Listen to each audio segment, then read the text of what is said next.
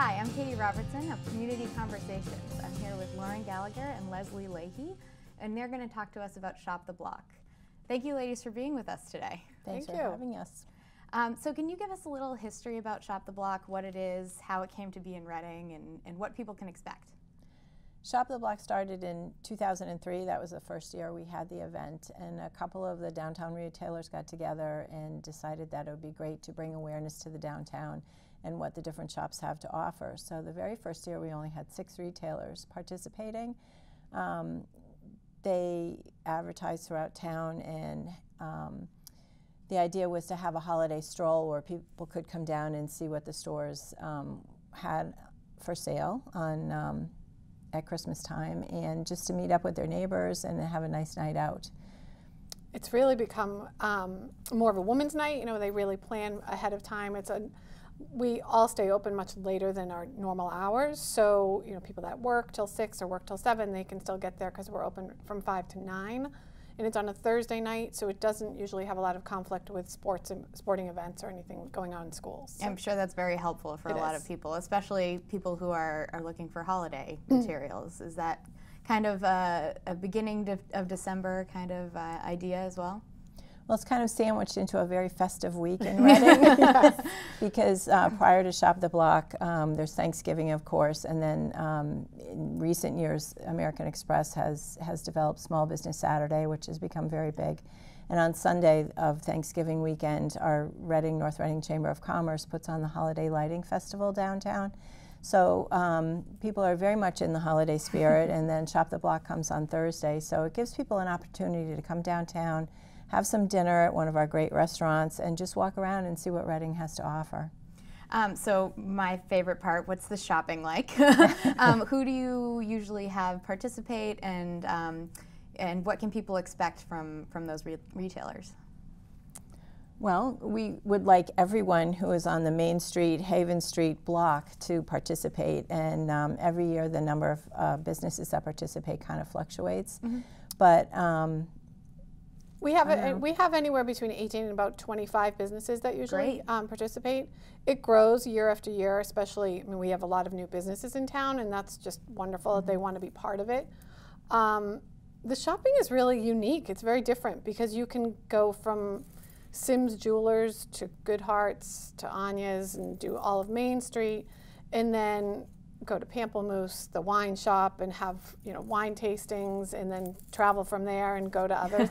um, down in our corner, we have the Hitching Post, and there's also a lot of hair salons that are part of the evening, which I think is great.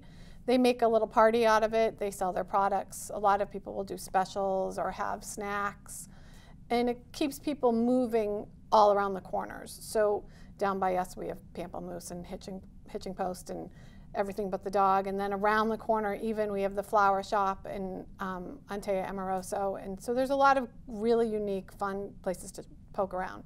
Sounds like it's more than just a shopping event too. That there's that there's other activities going on, um, like performances or, and restaurants participating. Is that correct? We do. We have um, creative arts is always been a part of it. Um, so it's nice. We have children and even some parents and some teachers that are involved, and they'll go around to various shops and play for about 15 minute sessions. It's it's very fun. Also, um, we found in the beginning we would have a trolley that would take people around in case it was too cold, people didn't want to walk. But what we found over the years is that people prefer to walk. It's more of a holiday stroll. Like they'll do Main Street, go down to the Chocolate Truffle, come around and, and do all of Haven Street. And people just um, like to be out and be social and meet up with their neighbors. And very often, I know in my store anyway, I've had groups of people who haven't seen each other in a long time chatting the evening away and, and, uh, and just enjoying the community. And I think it's nice too because we have great collaboration amongst the businesses in Reading, and um, it's, it's just a fun night to showcase our, our businesses. I think it's a, a great event for the business community as well to highlight the the great businesses that we do have in town. It does seem to me that there it, that's been um, increasing lately. Um, Definitely. pretty pretty exponentially. So it's it's good to kind of highlight that in such a festive time of year.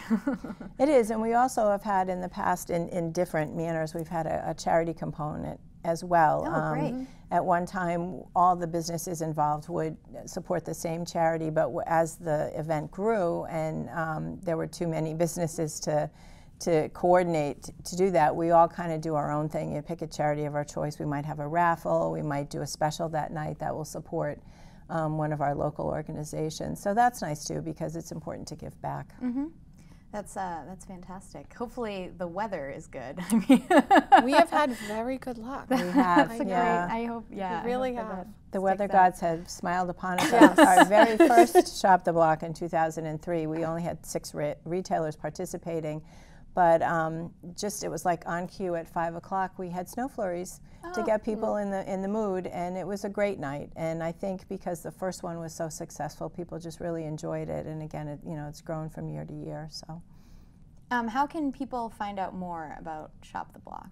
Is there um, media or, or anything that we can? We do have. We have a Facebook page. Okay, great. Um, and we also are going to be hanging posters throughout the town in the participating shops as well as in the library and the Y, the y and different places like that. Um, we will be posting some ads in local papers, things along that line, but we're really trying to get the word out through via Facebook and through via our email lists. We really try to do that too. Mm -hmm. And I know the um, the retailers aren't all uh, listed yet, but is that something that mm -hmm. you publicize? um, as it gets closer or, or, or not? It's definitely put on our Facebook page, okay, just because it does mm-hmm. happen.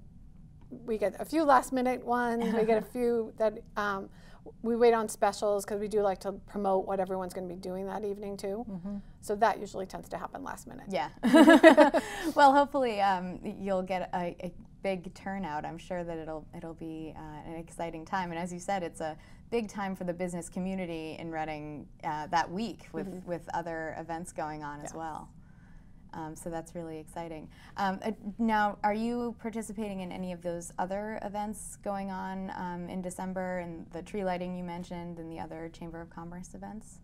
Oh, well, Small Business Saturday, definitely. Yes. Um, that's usually a big day um, for people to come down and shop. I think it really, all the advertising that American Express does really promotes the shop local message.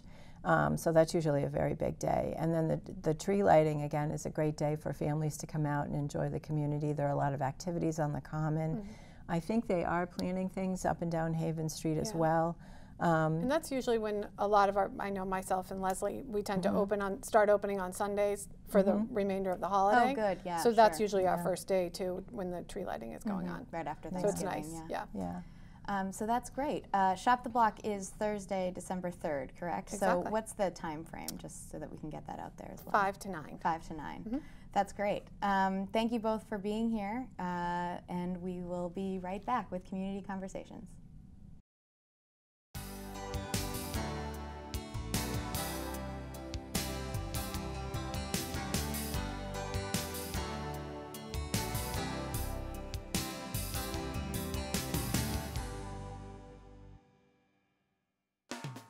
The only thing you can really do at the end of the day is compare a guy to his contemporaries.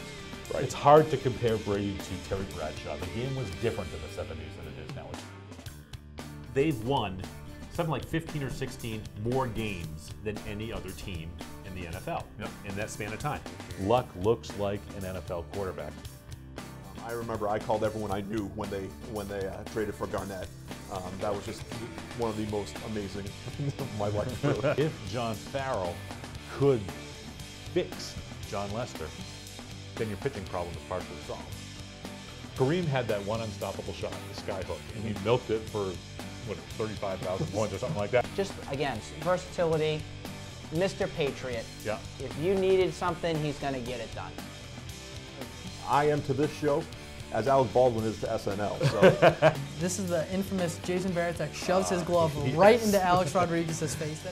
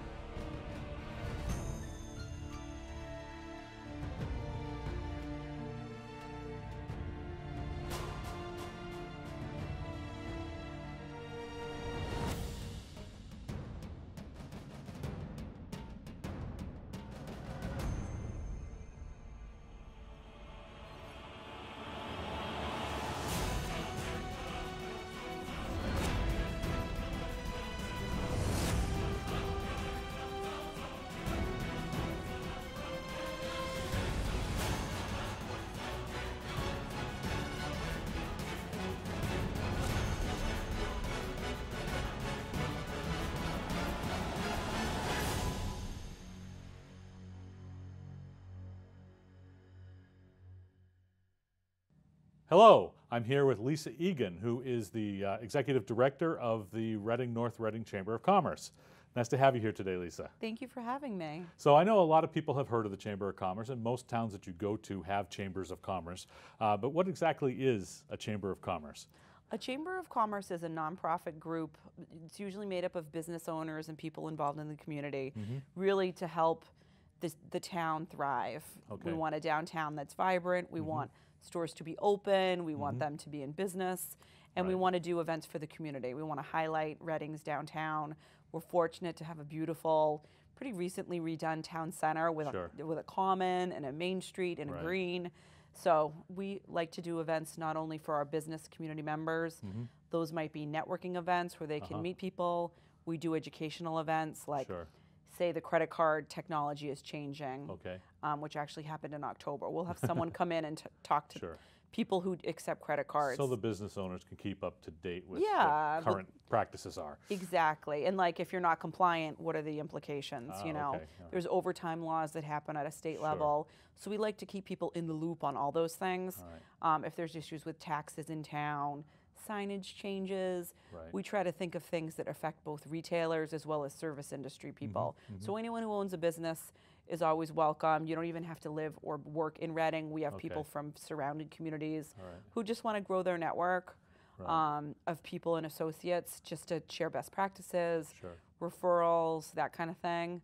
Um, and then we do a fair amount of regular community events as well. So really, um, when we talk about the Chamber of Commerce, it's made up primarily of business people who have businesses in Reading or North Reading, but uh, but it could be anybody, really, anybody who has an interest in things of business. Exactly. and so your job is as the executive director. So what exactly does that entail? Well, it entails um, being the face of the chamber, Okay. making sure people know that we do different events. For example, before I started with the chamber, I've lived in Reading for 13 years, Mm-hmm. and I always brought my family to the tree lighting, but I didn't realize or appreciate that it's the Chamber of Commerce that does Okay, it. It's not a town. We work with the town, Sure. but it's not a town um, event. The Chamber of Commerce buys the lights. They make. We work with all different departments within the town, from Right. DPW and the police and the fire, to hang all those lights, replace the lights and Mm-hmm. the bows and the garland, and um, coordinate getting it all up there. In addition to the tree lighting, which kind of kicks off the whole season. Right, right. So, so one of the reasons we're here today is to talk about the tree lighting event, which is coming up uh, here at the end of November. So, tell us a little bit about that. Maybe the, start with the origin of that. What is kind of the origin of that, as, as you know, as you would know? Of course. You know, I think about 20 years ago, the town started putting lights up there for the Yeah, holidays. yeah. And the chamber got involved maybe as, as long ago as 15 years ago. Okay. Leslie McGonigal, who, who runs Reading Gymnastics Academy, Mm-hmm. and several other people who lived and worked in Reading, said we should really plan something nice for the town, a, a way for us to give back to the Sure, community and create this um, very family friendly, low cost to free um, occasion to Mm-hmm. kind of kick off the holiday season. So it's been going on for 24 years. I think the chamber has done it for 15 to 20 of those Okay. years. Okay. Um, s- So it's really a nice event that happens in the, in the common. There's all sorts of stuff. It's not just the actual physical lighting of the lights, but there are other things that go on as well, kind of to kind of help people remember during the holiday season that the businesses in downtown Reading are there. Uh, what are some of the other events that go on along with the actual physical lighting of the lights? Yes, this year we have, um, we're, we're going to have a nice tent with restaurant tastings Oh, down okay. at the train From local depot, restaurants? From local restaurants. Um, we'll have um, food from a few different vendors. I know we'll have Harrow's Chicken Pie. Okay. We're going to have the Horseshoe's going to bring their pulled pork. They're right in North Reading. Um, a few other restaurants will be providing cocoa, snacks, sweets. Um, so it'll really just be like great free samples for local businesses. Great. And then also down at the train, we're going to have um, Zumba down by the train Mm-hmm. depot from three to four that day. Okay. And that's Zumba using holiday music. Yes, exactly. so it's you know So you can work off the goodies you just ate at you sure can, or you can just watch. The Oh, instructors okay, are from alright. the Burbank YMCA, and they have a big following. You know, it's choreographed to the holiday music. Right. It's fun. It's festive, and it'll just be something fun for people to kind of watch and Sure, showcase sure. what they do at the Y, which is great fitness programs, including the Zumba. Right, right. What other things are happening besides those things down at the depot? Any other uh, specific activities happening around the common or up and down Haven Street that day? Yes, yes. We'll have ice sculptures on the common, Okay. um, which we've had the last couple of years. So those are really cool to check out. Very Mm-hmm. unique. Um, we also have a bounce house for kids, so they can stop by and enjoy that. The Doyon's TV and Appliance gives out free popcorn and balloons up at the Common, and then we have a horse-drawn hayride that goes around um, the downtown area and a trolley. I Oh, think those okay. are both like either two dollars a person or five right. a family. Okay. We have carolers on the the trolleys, so it really gets you in the mood. Sure. Um, I know Venetian Moon will be open, and they're going to have Mrs. Claus there. Oh. And Reading Co-op always hosts Santa, Hmm. and to accommodate those with young ones, Santa will be there as early as one o'clock that day. Wow, okay. So it's Sunday, November 29th. Okay. The event is really from 2 to 4:30. Santa's getting at the coop a little early. Sure. Because there's nothing worse than telling a young one that the line for Santa's long and Right. pu- putting putting down the golden rope that they you know That's won't be able to see him. That's right. So Santa will be there, and it just they take pictures, and it's all free, and it's Mm-hmm. fun, and a lot of businesses give out goodie bags Okay. or little treats, or you Mm-hmm. know cocoa, cider, that kind of thing, really to make it a holiday stroll. So there's a lot to do downtown. You can go spend the afternoon and go into the different stores and Right. you know check out their fare and also Sure. maybe get a couple errands done, holiday shopping. Sure. So I was going to ask you about that. You know, obviously this is a big undertaking for the chamber to, to, to put on every year. Uh, what benefits do you think are derived from it for um, the members of the chamber as well as other businesses downtown? Well, I think it's nice because a lot of people will say, "Oh, I've always walked by Pamplemousse, but I've never gone in," Okay. or "Oh, I've always walked by the Hitching Post and I keep meaning to go in," or Agnes, but I, I've not stopped in there yet, Right. or Raspberry Beret up on Main Street. I think mm-hmm. that it's nice to showcase our downtown. We want to drive foot traffic and get people into those stores. Mm-hmm.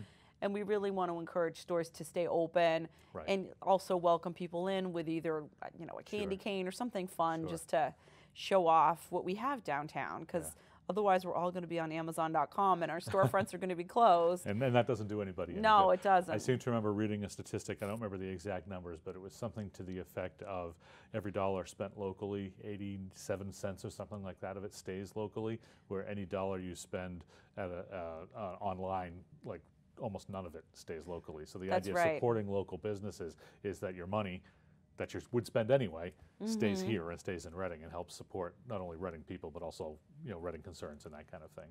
absolutely because those businesses are paying taxes they're Mm-hmm. funding the town we're actually doing a little campaign called keep the cheer here Oh, along okay. those lines because as you say when you spend money locally it benefits us all whether you know our, our nice downtown makes our home values go up and it makes our community more desirable Sure. and that translates into more money for our schools Right. and it really is kind of a big circle so yeah we want to encourage people to come downtown and do their shopping Right. Um, for the holiday season Absolutely. So set the schedule for me for uh, for the particular day. You said it goes two to four thirty. Is there a schedule of events during that time, or is everything open during that time? And when exactly does the tree lighting part happen? Yes, let me break it down a little bit. Sure. So at one o'clock, that's when Santa when will Santa arrive at- Reading Co-op. yeah. So a little early because we know, especially people with strollers or young Right. ones, maybe they don't want to risk being in a line, and I can pr- appreciate that. Mm-hmm. Sure. So Santa will come a little early at one at Reading Co-op on Haven Street, Mm-hmm. but the event really kicks off in earnest from two to four. Um, two o'clock is when all the restaurant tents will be open down Okay. at the end of Haven Street by, By the, the depot, depot. We'll have the bounce house. The Zumba schedule we're finalizing, but I'm pretty sure it's going to be f- probably 2:30 to 3:30.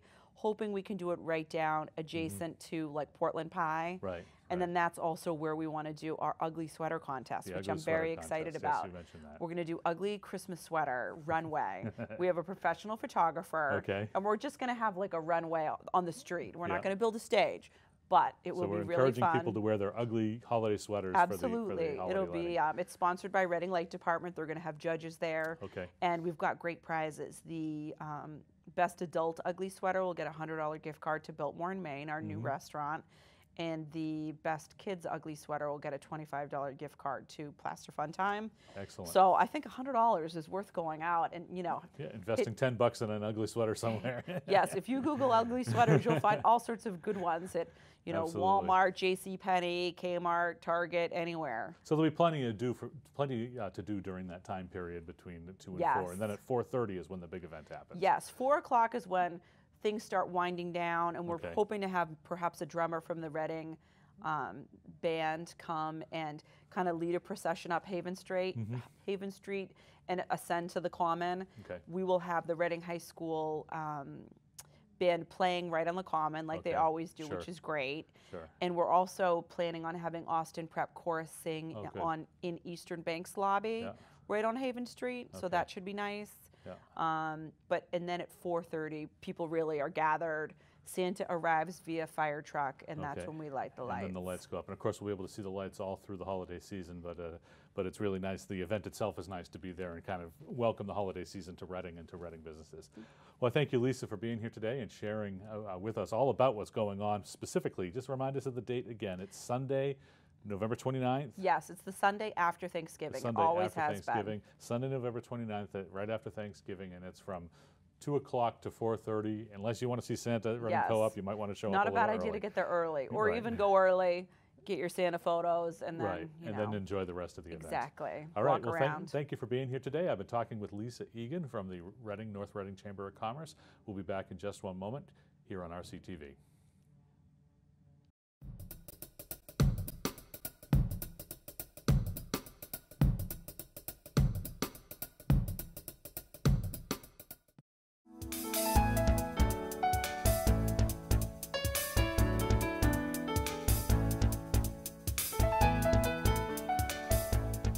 Hi, everybody. Welcome to the Old Reading Butcher Shop. My friend Tom and I are going to talk turkey today. Uh, everything that you need to know about purchasing a turkey, putting it out on the table, all the uh, all the condiments that you're going to need, uh, everything available right here at the Old Reading Butcher Shop. Uh, first thing to remember is there's a several questions that are pretty important before you buy the turkey. It's not as simple as it might seem. First thing you want to determine is how many people you're going to be having. And if that wasn't enough, you really need to find out what your breakdown of those people are. Uh, more men, more women, how many children. All of this is going to give you an accurate determination as to the size of the turkey and possibly the type of turkey, turkey that you're looking to purchase. Uh, First, let's start with the whole bird. Um, they're available domestic, they are available wild. The two differences is one is uh, one's a bird that can fly and one's not. You want to concentrate on a domestic bird. Uh, they're available in two pound increments. They start at a 10 to 12 pound range and they go all the way up to 28 to 30 pounds. Uh, our cutoff date on the purchase of these is November the 17th. Uh, after that time, we won't be able to positively be able to guarantee anybody who's going to be wanting to purchase something like that. A few guidelines too that are important as we're talking about this is the poundage and what you want to benchmark for the weight that you will need. Uh, generally, um, if it's a bone-in turkey that you're looking at, then you want to look at something that's going to estimate out at about a pound per person. And that's for a company that you're going to invite over that will be a good balance of white meat and dark meat. However, if you do have um, a good amount of your customers or a good amount of your company that is going to be white meat eaters, you want to increase that benchmark up to about two pounds per person. Um, and that certainly is, is a very, very good way to go if you're thinking about uh, leftovers or possibly seconds later on, later on the next day. Uh, one of the other types of turkeys that are available to you is a boneless turkey breast. Uh, obviously, primarily white meat with the skin on. Uh, that's something that is uh, just very accommodating for a lot of people that don't want to get into issues of carving. It's a lot easier to cook. Um, and by the way, we have cooking instructions for whatever size or type of turkey that you're going to be considering. Uh, third type would be just a regular bone-in turkey breast. Uh, some people do like the drumsticks without the wings attached to it. So all of those are considerations and we've got everything from top to bottom and everything in between. Turkeys obviously are generally best cooked in an oven at 325 degrees. But there are a number of people that like to cook them on a grill. Uh, grills are becoming increasingly popular. Uh, quite a few people too are taking on the task of trying them in a deep fryer. If you're going to try them in a deep fryer, there's one or two requirements that you're going to need.